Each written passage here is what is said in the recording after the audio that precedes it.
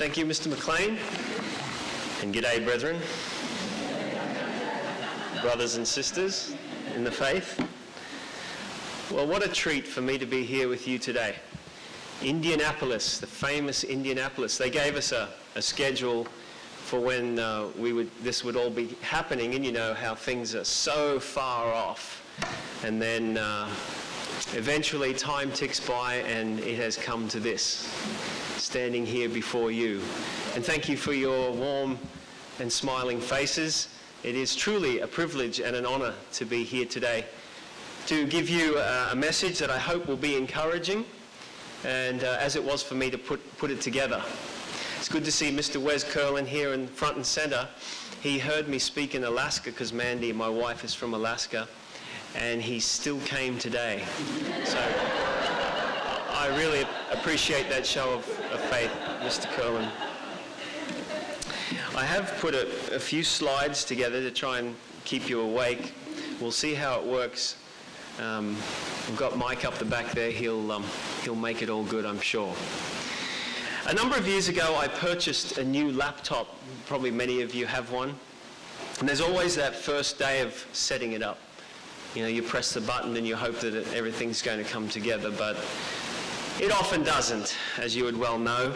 And I started the process of getting it ready for use. And I was so excited because I, was, I knew that I'd be able to take this laptop with me to Perth.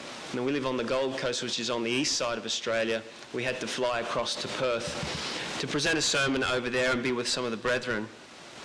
It was about a five hour flight, five and a half hours. So it's like going from, I guess, New York to Los Angeles. Yes, it's a pretty big, big flight.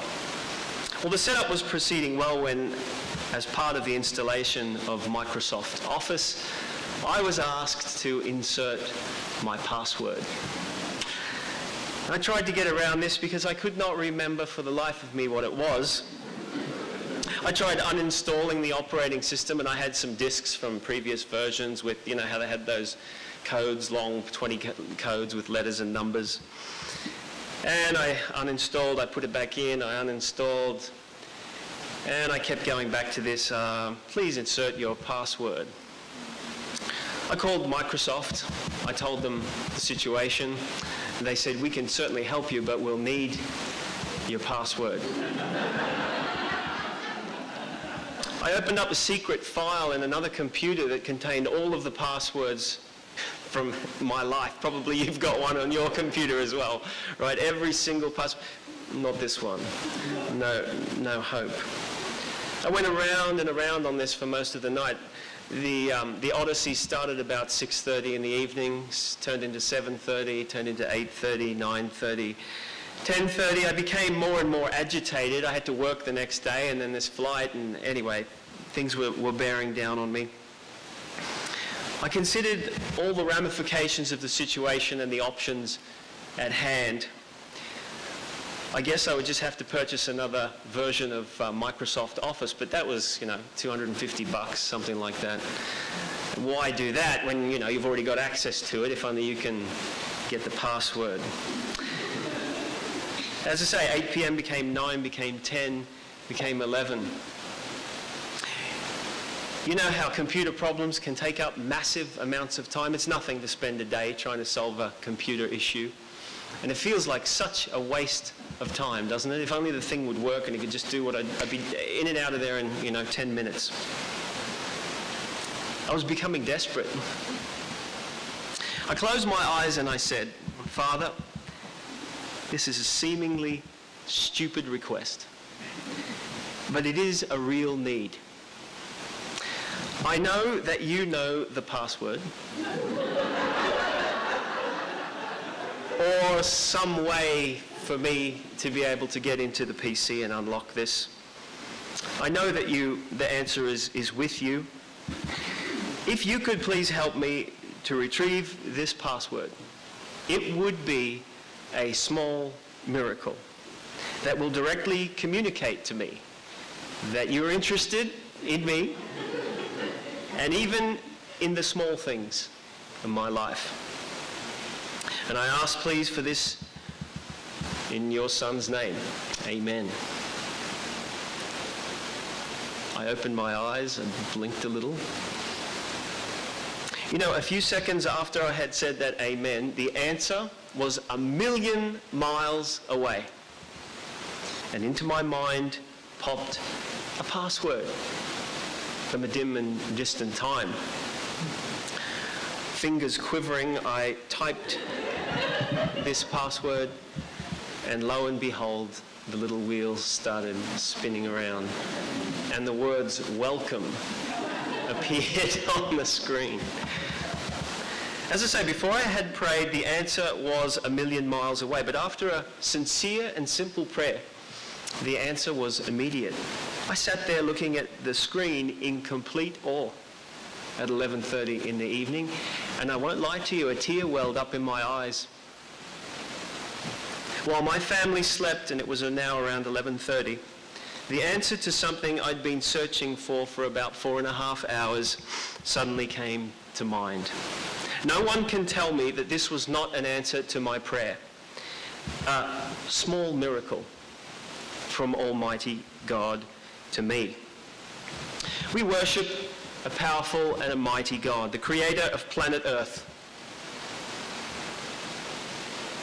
And all its phenomenal splendor. Look at that marble. A God who created the continents and all their varieties divided the land from the sea. He's created the mighty waterfalls, the beautiful tapestry of the earth in which we inhabit. The colors overwhelm us. Don't those colors look magnificent? Breathtaking coming in from um, Cincinnati through here at beautiful time of the year, seeing the, the trees as they change color. The diversity and the complexity. And they even warm our hearts, a creation of God, with the color, the genius behind it, the infinite superiority of the mind of the great creator God. A being so complex that there are no words to describe how intelligent he is in the English language, at least. Maybe there's another language that can do it. He numbers the stars, he calls them by name, and he creates things like that. It's just phenomenal. He does mighty things that our humanly devised languages are ill equipped to fully describe. Mighty things for an incomparable or incomparable genius who helped me retrieve a password on my computer. Please turn to 2 Kings chapter 6, if you would. 2 Kings 6. Here we have a time where a group known as the Sons of the Prophets, sometimes tra- translated the company of the prophets, were talking with God's prophet Elisha. Apparently, apparently there were groups of prophets at the time, perhaps something akin to our ministerial trainees that we have today, groups of guys getting around trying to learn the ropes. Anyway, uh, apparently this group had outgrown their current um, accommodation, and so they needed a bigger place in which to stay. Notice here in verse 1, 2 Kings 6, verse 1. And the sons of the prophets said to Elisha, See now the place where we dwell is too small for us. Please let us go to the Jordan, and let every man take a beam from there, and let us make there a place where we may dwell. And so Elisha said, Go, yeah, go, go for it, boys. On your way.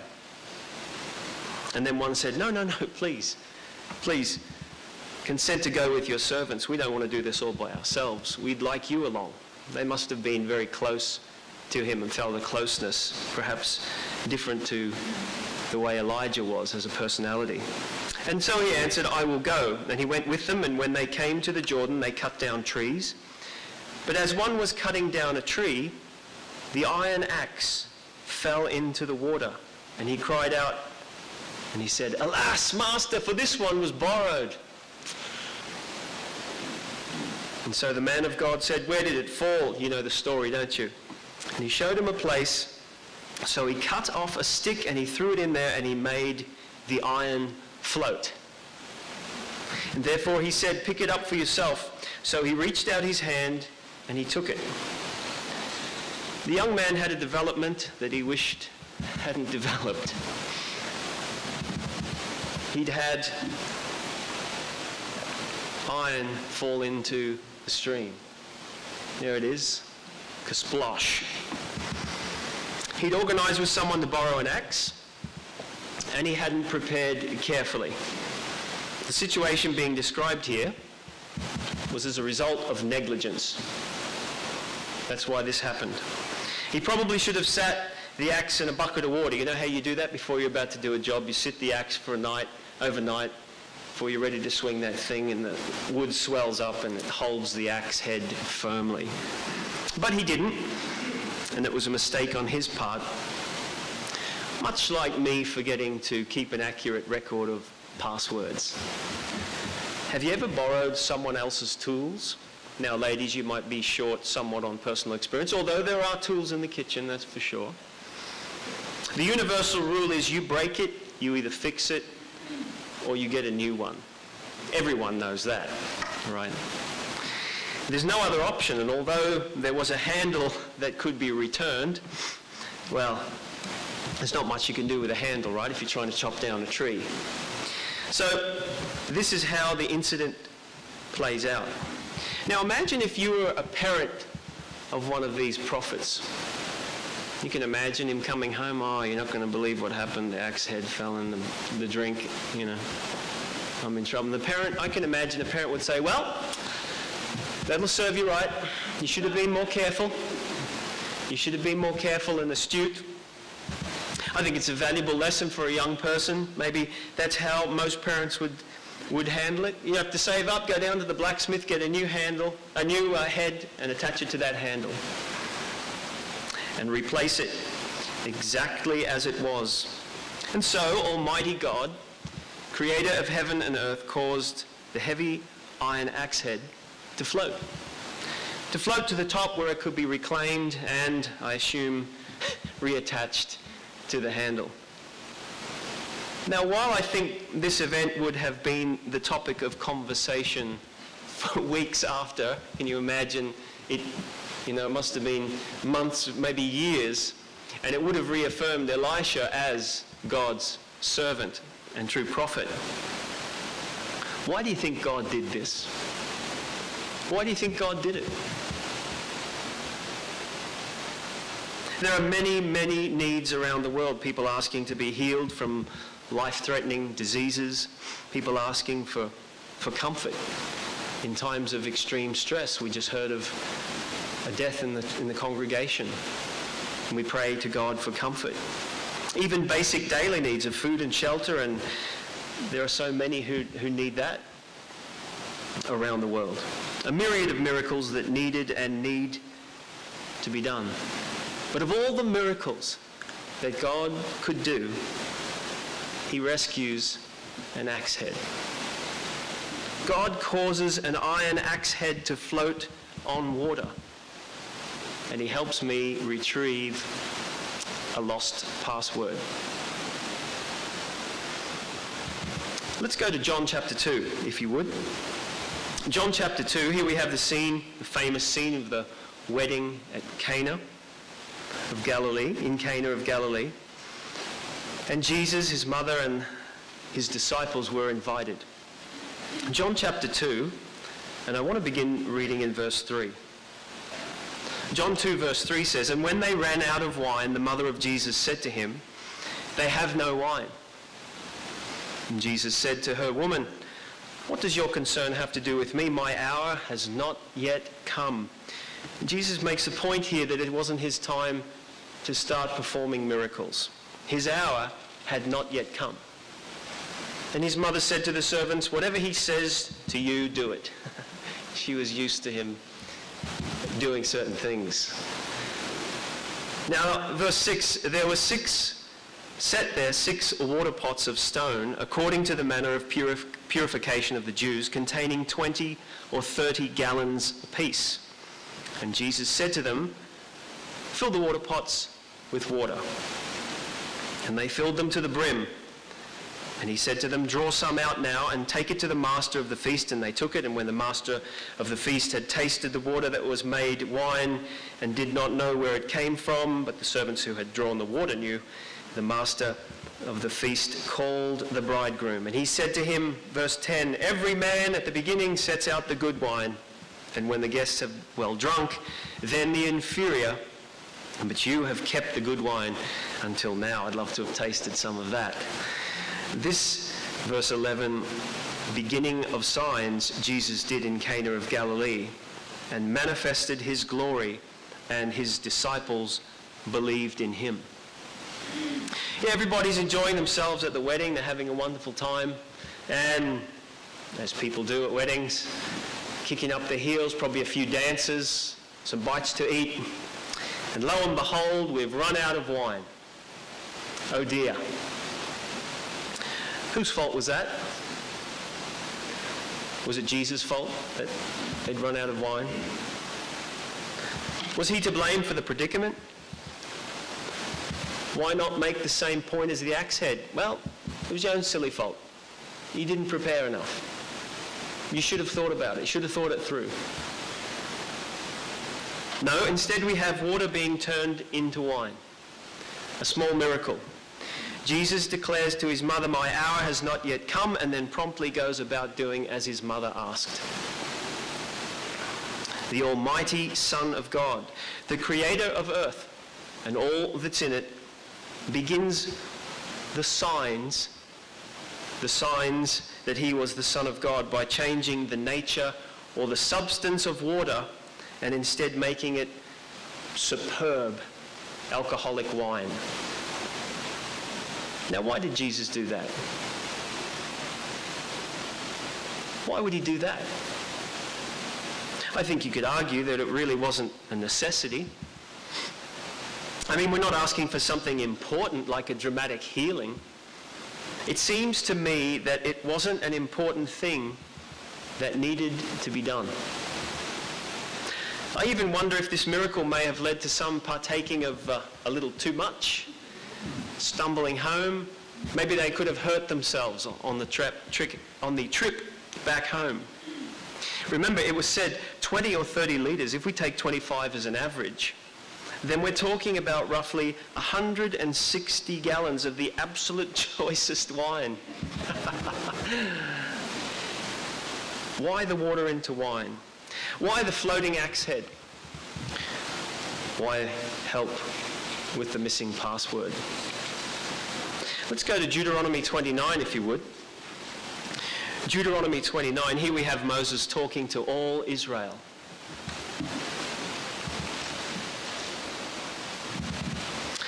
He's recounting how God did great things for them, delivering them from challenge after challenge. Now Moses called in verse 2, Deuteronomy 29, Moses called all Israel and said to them, you have seen all that the Lord did before your eyes in the land of Egypt to Pharaoh and to all his servants and to all his land.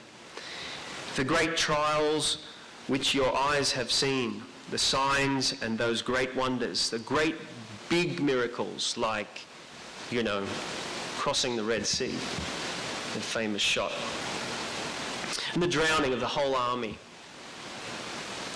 Yet the Lord, verse 4, has not given you a heart to perceive and the eyes to see and ears to hear to this very day. And I have led you 40 years in the wilderness. Your clothes have not worn out on you, and your sandals have not worn out on your feet. in my mind's eye, I imagine a couple of Israelites sitting around the campfire and one looks down at his feet. He turns to his friend, his mate next to him, and he says, You know, I don't think I've ever had a pair of sandals wear this well before. and then, then his mate comes to the realization that, come to think of it, neither have I. A year goes by, and they notice that there's absolutely no wear on the sandals. In fact, year after year goes by, and after 40 years of wandering in the wilderness, neither their shoes nor their clothes wore out. The sandals. Now, some ladies might not like that idea. A girl's got to accessorize, right? but it's a very simplified wardrobe, isn't it? Now, we might say, if it were up to me, I'd have let them wear out. You know, give them one pair to set them on their way, and then, you know, let them learn to be a bit resourceful. They got one new pair, and as with all things, you know, they need to learn a lesson that things wear out and they've got to be replaced. But that's not what happened, is it? God helped them at the bottom level of their lives. The thing that separated their feet from the ground didn't wear out in 40 years. An axe head floats, water's turned into wine, sandals that don't wear out in 40 years, and a password that comes to mind after a sincere prayer. What are we to learn from this? Well, I suggest time spent this week on your own thinking what we might learn from this would be time well spent. But I have a couple of ideas as to why, which I'll share with you as well. The first of these answers can be found in Matthew 10. What are we to learn from things like this? Matthew chapter 10, let's read the words of Jesus himself. And in verse 29, Matthew 10, verse 29, and it says, Are not two sparrows sold for a copper coin, and not one of them falls to the ground apart from your Father's will. But the very hairs of your head are numbered. Do not fear, therefore, you are of more value than many sparrows. Sometimes there may be a tendency for us to think that God doesn't really care about the details of my life. Some may, believe, may be led to believe that he's a bit absent, maybe a bit cold. I mean, doesn't he know that I am hurting deeply at the moment? We might be inclined to think that the all-powerful God isn't concerned with the minutiae, you know, the small details of my life. I'm just one guy walking around on the earth well, example after example tells that this is simply not the case. If you ask God, how many hairs, really, how many hairs are there on my head? Do you think he'd know? If we said, God, worldwide, how many sparrows bit the dust yesterday? You think he'd know? It's a good question to ask ourselves. That's what it says in the book. The answer to both, I believe, is a resounding yes. Yes, he would know. He would know. And so, the first reason as to why God has recorded in his word why he intervenes in our lives, I suggest to you, is that he wants to know, he wants us to know, that he's interested in the details of our life our individual lives, God is interested in. His word confirms that. There's an awareness from the point of view of God of the tiniest details of your life and mine.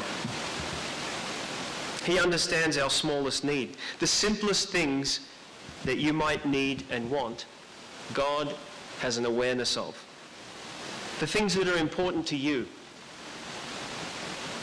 the things that can change your life, the things that can make it better or worse. God proves through these small miracles that he's tied up in and interested in the smallest details of our lives.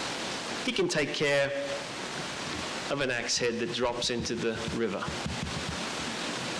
He can take care of my daily needs day by day. I'd like us to consider another familiar scripture, but from the perspective of small miracles. It's mentioned in Matthew 6. Let's have a look in Matthew 6.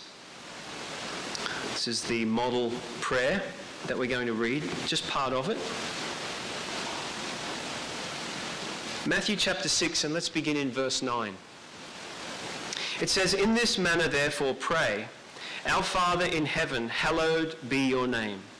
Your kingdom come, your will be done on earth as it is in heaven.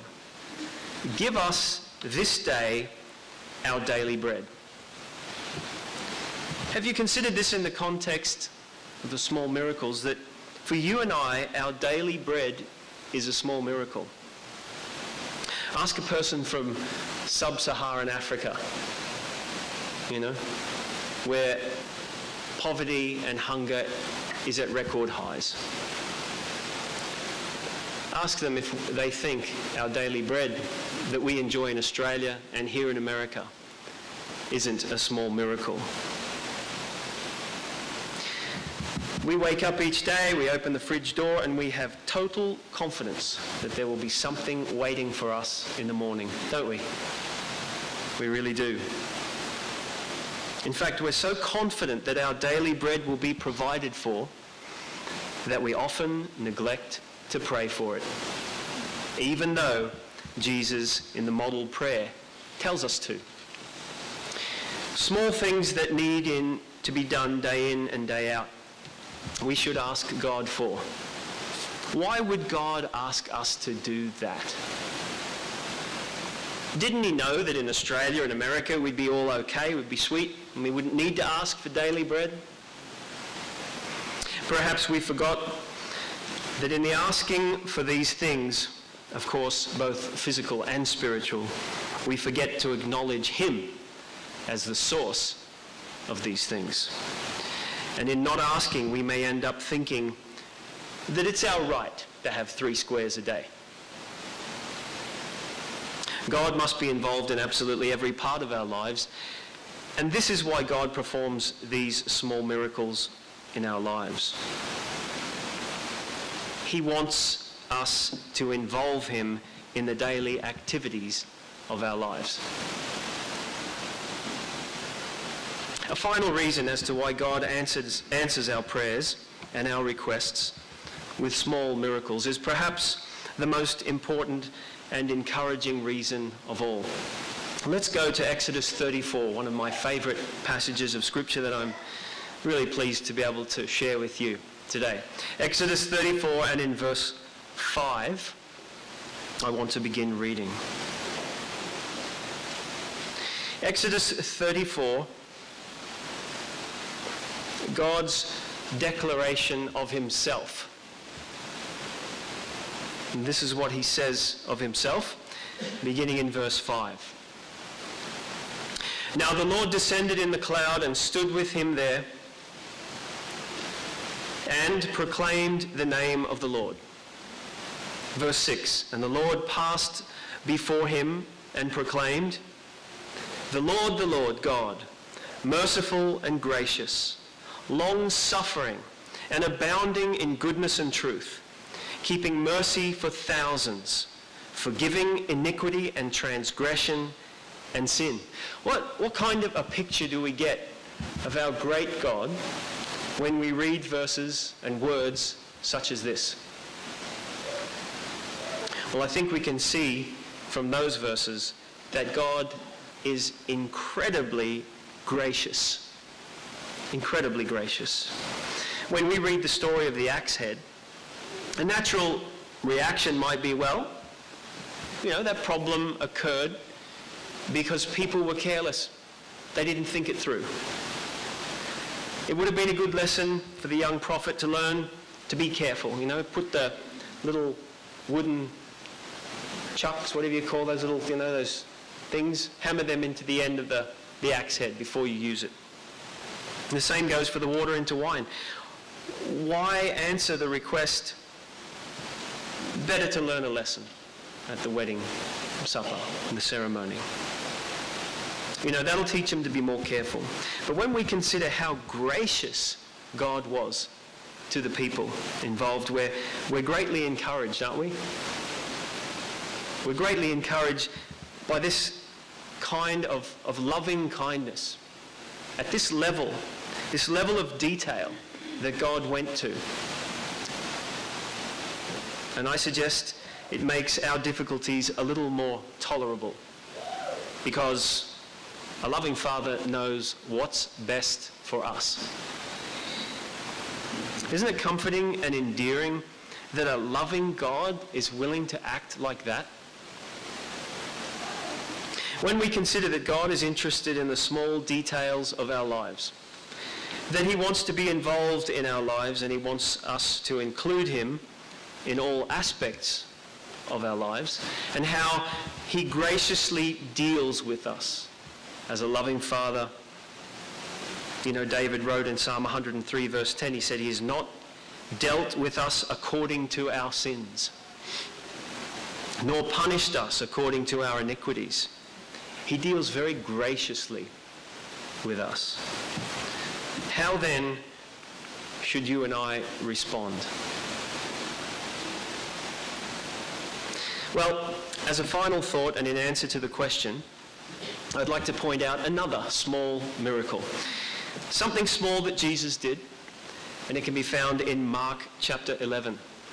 Let's go to Mark chapter 11, and here we have Jesus walking with his disciples. What should our response be given these three points? Mark chapter 11, and then we'll start in verse 12. It says, Now the next day when they had come out from Bethany, he was hungry, and seeing from afar a fig tree, a fig tree having leaves. And he went to see if perhaps he would find something on it. And when he came to it, he found nothing but leaves, for it was not the season for figs. Verse 14, in response, Jesus said to it, Let no one eat fruit from you ever again. Notice verse 20. Now in the morning, as they passed by, they saw the fig tree dried up from the roots. This is a small miracle. And I bring it up in the sermon here as a real contrast to the other miracles that we covered. Christ was very serious about this fig tree. Having walked up to it, carefully, you know, considered it, studied it, he had to conclude that the early signs showed that there was going to be no fruit on that fig tree. It looked good, perhaps from afar, but it wasn't going to produce. And he came to that conclusion. In verse 21, and Peter, remember, remembering, said, Look, Rabbi, the fig tree which you cursed has withered away uselessness invited disaster. A fig tree must produce figs, and when we consider how God is aware at the minute level of our lives, I think we realize via this small miracle that a Christian must be producing fruit. The result of not doing so, well, results in being cut down God makes an investment in every one of the people that he calls into his truth. And that, of course, is you and me. The result of not doing so results in something we may not want. You may have noticed that I, before when we were in Exodus 34, I didn't read the last part of verse 7. You're astute, maybe you noticed that. I did so purposefully because in Exodus 34, verse 7, it, it, concludes the verse by saying, Keeping mercy for thousands, forgiving iniquity and transgression and sin, but by no means clearing the guilty, visiting the iniquity of the fathers upon the children and the children's children to the third and the fourth generation. God's small miracles they require a response from you and me to depart from sin and to produce figs. The Almighty God, the maker of the earth and heaven and all that is in it, the rescuer of axe heads and passwords, the fortifier of sandals and clothes, the maker of exquisite wine in short order. He does this, among other things, because he's interested in the details of our lives. And he wants to be involved in these details as a gracious and loving Father. Isn't that incredibly encouraging? The question for us is will we involve him and in turn produce the fruit that he expects from us? Remember the small miracles.